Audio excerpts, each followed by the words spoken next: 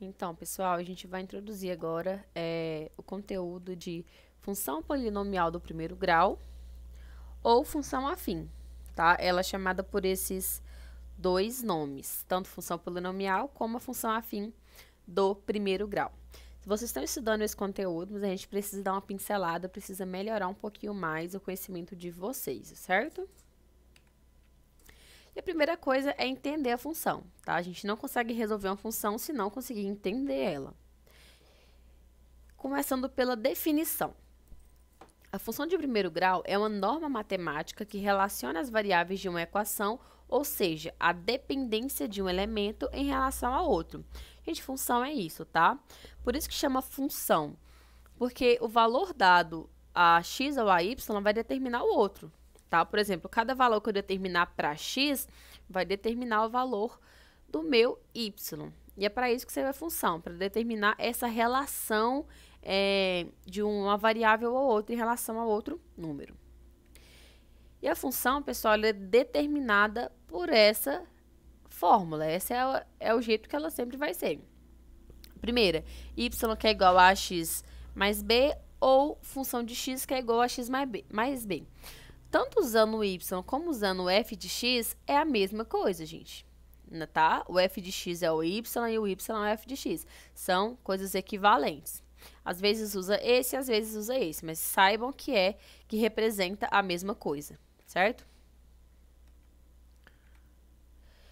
E na função, o a, pessoal, ele é chamado de coeficiente de x, tá? E o a, ele é o número que vai estar tá aqui grudadinho com o x. Vai estar tá aqui multiplicando com o x. E o b, ele é chamado de constante, tá? Então, se perguntar qual é o coeficiente de x, é o a, esse valor que vai estar tá junto com o x, e o b vai ser a nossa constante. É importante vocês saberem a nomenclatura, saber o nome de cada elemento, é, principalmente para resolver questões, tá? Às vezes exige que a gente tenha um conhecimento um pouquinho maior. Exemplos. Nessa função de x aqui, pessoal, função de x que é igual a 5x menos 3. Qual vai ser o valor do a e qual vai ser o valor do b? Vamos lá, a gente sabe que o a é o valor que vai ficar junto com o x. Então, nesse caso, vai ser o 5. O a vai ser 5 e o b vai ser menos 3, certo? Próximo exemplo. Função de x que é igual a menos 2x menos 7. O número que está com x é o nosso coeficiente de x. Então, o nosso coeficiente de x, que é o a, vai ser menos 2, e a nossa constante b vai ser menos 7. Não tem segredo para identificar, pessoal, é simples assim mesmo. E essa última aqui, função de x, que é igual a 11x. Nesse exemplo aqui, eu só tenho um valor, só tenho um, a constante de, o coeficiente de x que está que é o valor de A, né, que está junto com o x. E eu não tenho o valor de B, eu não tenho uma constante. Isso significa que a constante vai ser zero, tá? O A vai ser 11 e o B vai ser zero.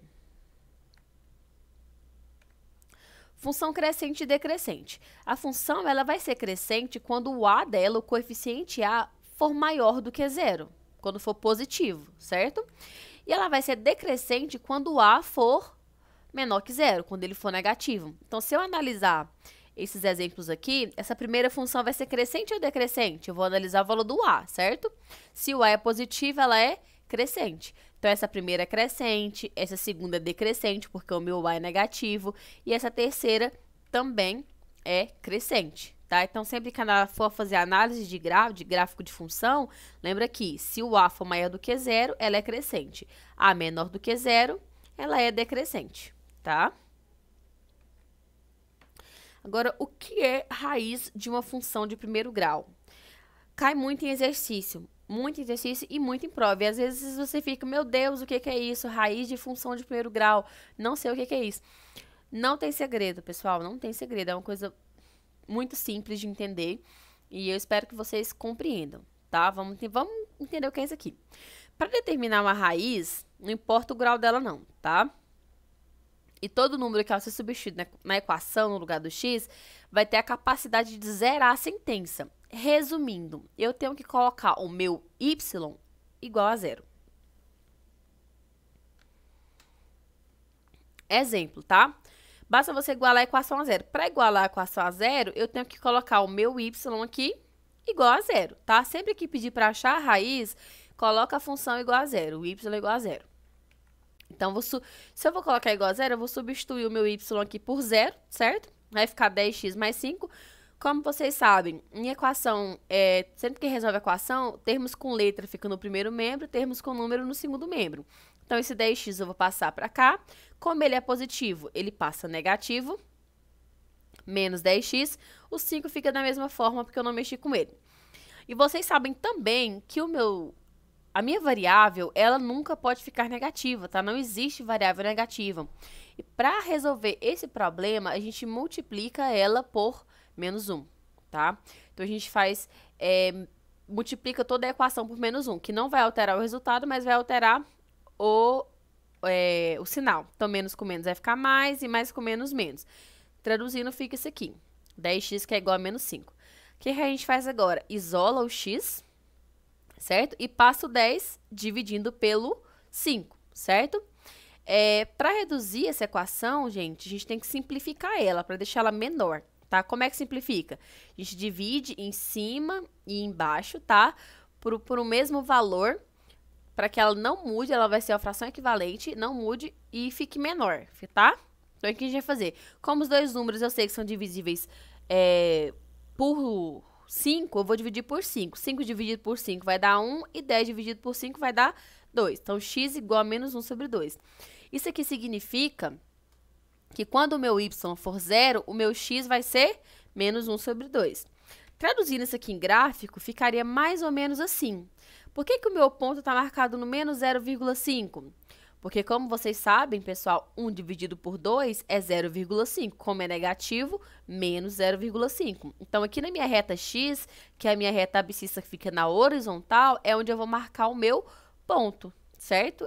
E criar a minha reta é, da função de primeiro grau. Mais um exemplo aqui, rapidinho.